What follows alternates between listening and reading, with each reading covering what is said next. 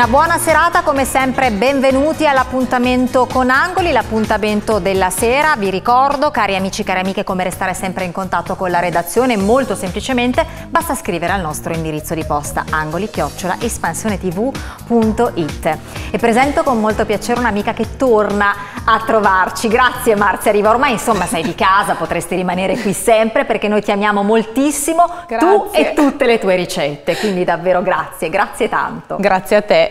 Sono Senti, molto tra felice. l'altro voglio subito ricordare, tu hai anche un sito dove tutte queste ricette insomma si possono approfondire, si possono imparare meglio perché tu sei molto gentile, vieni qui in studio e cerchi di spiegarci il più possibile sulle tue ricette, ma ce ne sono tantissime e tutte assolutamente da utilizzare. Certo. Questa sera cosa ci porti? Questa sera facciamo un dessert, un dessert crudista, quindi non usiamo il forno e lo prepariamo con la zucca e con il caco. E allora via, come sempre, Veloci. andiamo al nostro tavolo di lavoro e impariamo come si fa questo dessert.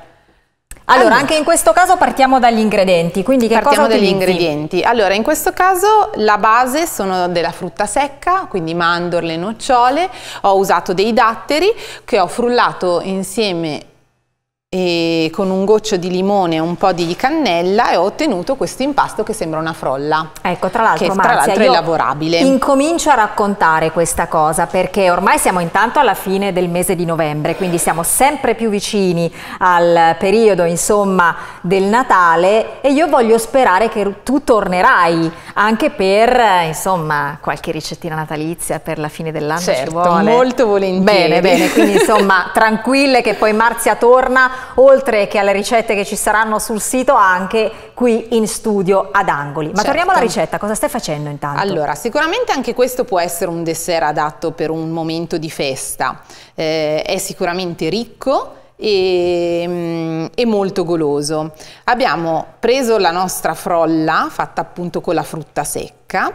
Quindi non ha zucchero, non ha farina, non ha lievito, non ha uova, non ha burro. Quindi naturale naturale, Sì. insomma, adatta a tutti. Adatta a tutti e quelle ricette che tanto spesso si vede senza senza, no? Tutto senza. È tutto senza. è tutto senza. però, qualcosa dobbiamo mangiare e soprattutto un po' di gusto, ecco, Esatto. ci vuole.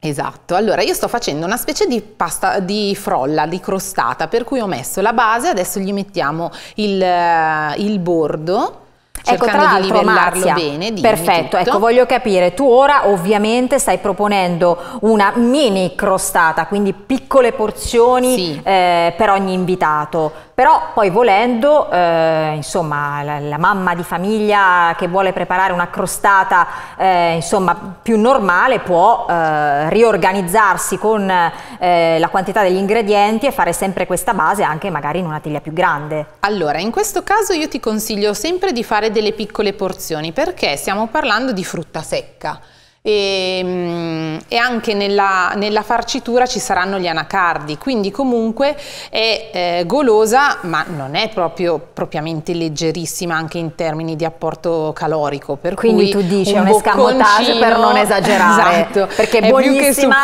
ma è anche super calorica, insomma un po' calorica diciamo Eh, così. Insomma, sì, non è proprio una cosa leggerissimissima. Ok. Quindi primo punto- passaggio, la base. La base.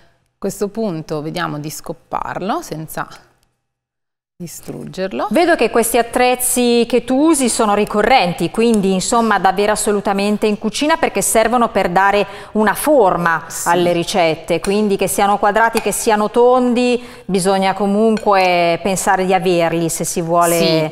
creare E- qualche cosa di particolare anche nella Ok. presentazione. Ecco qua. Ok, sì, eh, ci aiutano sicuramente e poi se diamo una forma anche per il lato estetico eh, è un ulteriore aiuto. A questo punto io ho fatto una crema frullando gli anacardi che ho tenuto in ammollo per 8 ore, la zucca e il caco. Ho anche in questo caso aromatizzato con della cannella, un po' di, di scorza di limone e della vaniglia e abbiamo questa crema con cui farciamo la nostra crostatina. Quindi torna ancora la zucca in un'altra applicazione rispetto a quelle che già ci Esatto. avevi raccontato. Ingrediente nuovo invece il caco. Immagino caco. avrai usato la polpa.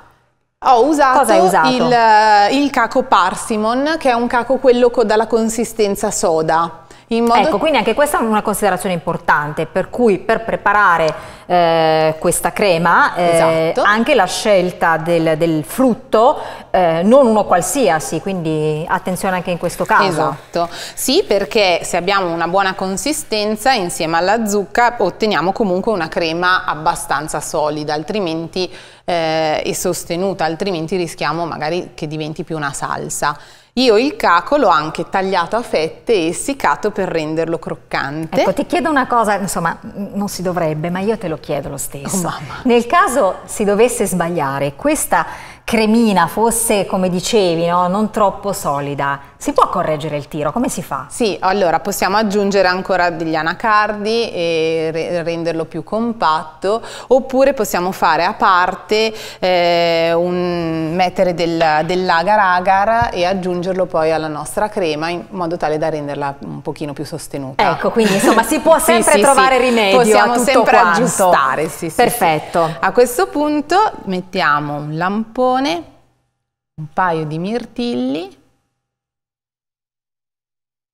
quindi anche in questo caso eh, insomma, la scelta dei colori è sempre insomma, molto attenta sì. perché hai creato anche in questo caso una cosa molto piacevole alla vista, tu lo ricordi tutte le volte, è importante che il piatto insomma, affascini i commensali. Sì. Sì, Quindi tu sei molto attenta a questo. Mi piace. E poi, che cosa hai E poi ho messo ancora? del finocchietto selvatico. Ah, quindi insomma hai spaziato i, anche in questo caso sì. in, in un piccolo particolare che rende la ricetta e soprattutto il piatto ancora insomma più simpatico. Sì, sia perché appunto diamo quella punta di verde che va a rendere gradevole la presentazione e poi perché ha un contrasto di gusto che sta molto bene con, uh, il, con gli altri ingredienti. Ecco, senti Marzia, per esempio un dessert di questo tipo, visto che negli appuntamenti precedenti ci hai raccontato un antipasto, un primo, poi insomma manca il secondo ma arriverà sicuramente, um, un dolce, un dessert di questo tipo che come ci hai detto ha comunque già una certa componente calorica importante. Per esempio, con quale tipo di pasto si può abbinare, quindi un antipasto piuttosto che un primo, piuttosto che un secondo, oppure anche più cose?